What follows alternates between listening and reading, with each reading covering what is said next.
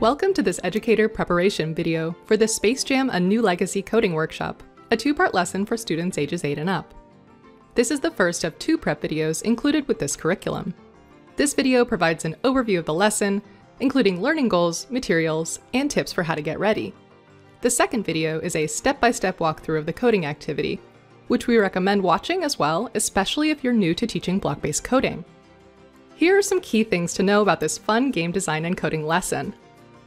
No prior coding experience is required, either for the educator or for students. The coding activity is a beginner-level, step-by-step online tutorial with built-in instructions and hints. This is a two-part lesson, and each part is designed to take about 45 minutes, but can be extended by giving students extra time to complete activities. The two parts can also be run consecutively as a single one and a half hour lesson. This lesson is designed for virtual delivery in a remote learning setting, but tips are included for teaching the lesson in person as well. It was developed as a partnership between Warner Brothers, Xbox, and Microsoft Store around the film Space Jam A New Legacy, starring LeBron James and Bugs Bunny. Characters from the movie are featured in the lesson's materials, as well as a video from LeBron himself. Let's review the learning goals. By the end of this two part lesson, Students will be able to describe three key elements of a video game, identify three STEAM, or science, technology, engineering, art, and math, careers involved in video game design, design basic elements of their own video game, like the gameplay style, create a game with block-based coding on the Microsoft MakeCode Arcade platform, and describe social emotional skills they practiced in the lesson and how they can apply these in daily life. In addition to the two preparation videos, the curriculum materials include an educator guide, a PowerPoint presentation, and a student workbook. The educator guide includes details about the lesson, including the computer science and social emotional learning standards it aims to address, setup requirements, recommended resources, and lesson outlines with suggested timings. The PowerPoint presentation is a visual tool to guide students through the activities. Both parts of the lesson are included in the same PowerPoint, divided into two sections. Tips are included in the slide notes. These can be referenced either in normal view or while presenting in presenter view. The student workbook is an interactive PowerPoint workbook for students to use during the lesson activities. The activities can also be done on paper if students can't access or prefer not to use the workbook. Here's how we recommend preparing to deliver this lesson. Review the curriculum materials, including the prep videos, educator guide, presentation and slide notes, and student workbook. Practice the coding tutorial at aka.ms slash chase hyphen the hyphen basketball. Consider the format in which you'll be delivering the lesson and how it may impact setup and activities.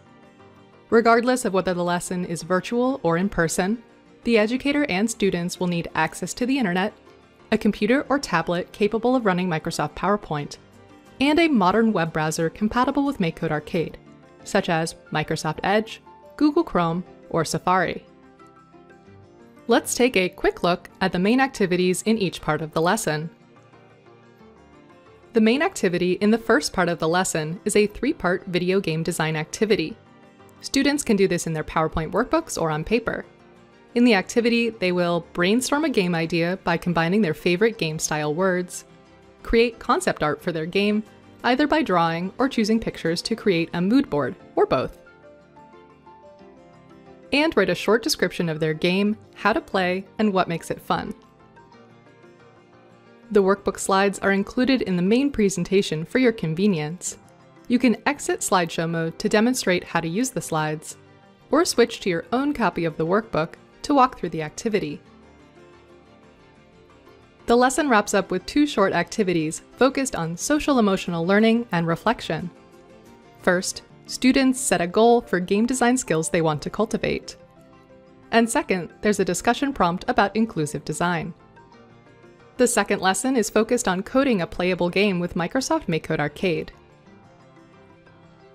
The main activity is a Space Jam A New Legacy themed, block-based coding tutorial. The other provided prep video is a walkthrough of this tutorial. Check it out to build familiarity and confidence with the platform, concepts, and tutorial steps before guiding students through the activity. When students complete the tutorial, they can get a sharing link for their game to share with the class or their friends and family. As in Part 1, the lesson wraps up with an activity focused on social emotional learning and reflection.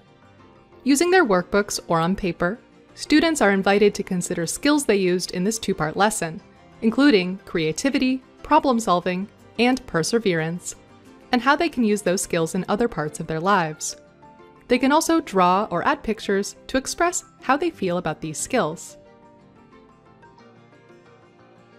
Let's wrap up with some key takeaways about preparing to deliver this two-part game design and coding lesson. As you practice the MakeCode Arcade tutorial at aka.ms slash chase hyphen the hyphen basketball, think about what your students are likely to find challenging and what they'll find most fun. The specifics of workshop setup and activity facilitation will depend somewhat on the format in which you're delivering the lesson. The Educator Guide has tips for both a remote and an in-person setting. Thanks for watching. Have a great lesson.